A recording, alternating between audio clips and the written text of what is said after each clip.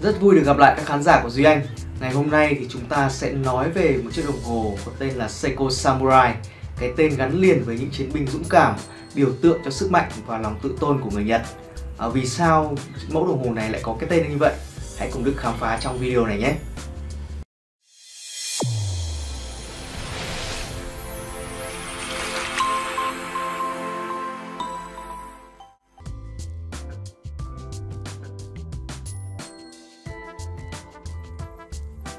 Và đây chính là chàng Samurai của chúng ta.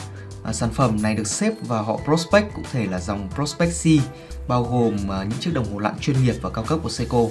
Những chiếc đồng hồ thuộc dòng này là những diver điển hình được trang bị khả năng lặn sâu với mức độ chịu nước lên đến 20 ATM cùng bộ vỏ thép rất là chắc chắn và được hoàn thiện sắc sảo. À, so với những dòng đồng hồ lặn phổ thông như là Oremaco hay là Fine Sport của Seiko thì à, chiếc này hơn hẳn về độ tinh. Điều này khi trực tiếp trên tay các bạn sẽ cảm nhận rõ nhất đẳng cấp ở đây là hoàn toàn khác biệt. À, về tổng thể thiết kế cảm giác mà chiếc này mang lại thực sự đúng với cái tên samurai của nó. À, từng đường nét góc cạnh rất là khỏe khoắn và dứt khoát. À, nhìn vào bộ vỏ từ phía cạnh bên thì chúng ta có thể thấy rõ là Seiko hoàn thiện nó bằng những đường cắt thẳng sắc như lưỡi kiếm của những chiến binh samurai vậy. Gần như chúng ta sẽ không thấy được uh, uh, Seiko sử dụng hoàn thiện bóng ở đây thay vào đó là vân phay xước uh, quan sát uh, phần tai dây thì Seiko cũng thiết kế khá đặc biệt khi nó được vuốt dài đến gần núm chỉnh giờ à, tạo ra những góc nhìn. À, nếu mà nhìn từ à, phía chính diện sẽ tạo ra bốn phía ở mặt số những góc nhọn làm tăng thêm sự nam tính cũng như là cảm giác mạnh mẽ cho chiếc đồng hồ này.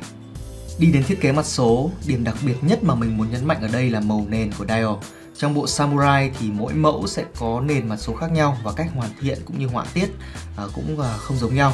Ờ, chiếc mình đang có ở đây là phiên bản đặc biệt Special Edition với cái tên đầy đủ là Seiko Prospect Save the Ocean à, một trong những nỗ lực của hãng đồng hồ Nhật Bản nhằm cổ động cho việc bảo vệ các đại dương trên thế giới cũng như là sự tri ân với nhà khoa học chuyên nghiên cứu về biển người Pháp ông Fabien Costo. À, đi kèm đồng hồ sẽ có một nhãn riêng như các bạn đang thấy ở đây với dòng chữ Save the Ocean à, mặt số được thể hiện bằng một màu xanh huyền bí cũng là màu xanh sâu thẳm của đại dương uh, với những đường cong mềm mại tựa như những cơn sóng biển gợn lên trong màn đêm. Uh, nếu nhìn kỹ hơn, thậm chí chúng ta có thể liên tưởng ngay đến da của loài cá voi xanh, người khổng lồ của biển, loài động vật lớn nhất thế giới còn tồn tại. Uh, Seiko quả thực tinh tế khi mà truyền tải cả những sự vĩ đại ngay trong những chi tiết tưởng chừng là mềm mại và uh, nhỏ nhất. Kết hợp với những góc cạnh mạnh mẽ của bộ vỏ, chúng tạo nên một tổng thể vừa thống nhất lại vừa nổi bật. Những chi tiết còn lại đều là đặc trưng không thể thiếu của đồng hồ lặn. À, trước hết là bộ kim và cọc số có kích thước lớn, được phủ dạ quang siêu sáng. À, nếu như Thụy Sĩ có Super Luminova thì Nhật Bản lại có Lumi Bright. À, ờ, sẽ là rất ấn tượng khi xem giờ trong đêm. À, theo trải nghiệm của mình thì chỉ cần vài phút dưới nắng thì kim và cọc số đã có thể tỏa sáng rực rỡ trong bóng tối. À, phần còn lại là bezel lặn. À, tính năng này đã quá quen thuộc rồi, nó dùng để đo thời gian lặn an toàn và chỉ có thể xoay theo một chiều. Điều mình muốn nhấn mạnh ở đây là cảm giác xoay rất êm và nhẹ. À, thực sự thì đây là một điều mà thể hiện sự khác biệt giữa các mẫu diver cao cấp tầm trung hay là phổ thông. À, cách hoàn thiện bằng vân đan chéo ở phần cạnh này cũng sẽ khiến việc xoay trở nên dễ dàng hơn à, do độ ma sát đủ lớn nhưng lại không hề làm đau tay.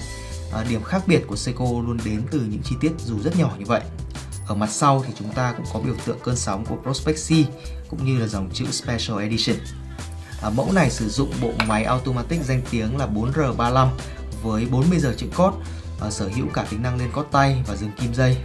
À, tại Duy Anh thì mọi sản phẩm Seiko bán ra bên cạnh chế độ bảo hành chính hãng một năm sẽ có cả 5 năm bảo hành về máy riêng của Duy Anh cùng hàng loạt các dịch vụ kỹ thuật khác như lau dầu, căn chỉnh, xử lý chống nước hay là nhiễm từ hoàn toàn miễn phí các bạn nhé.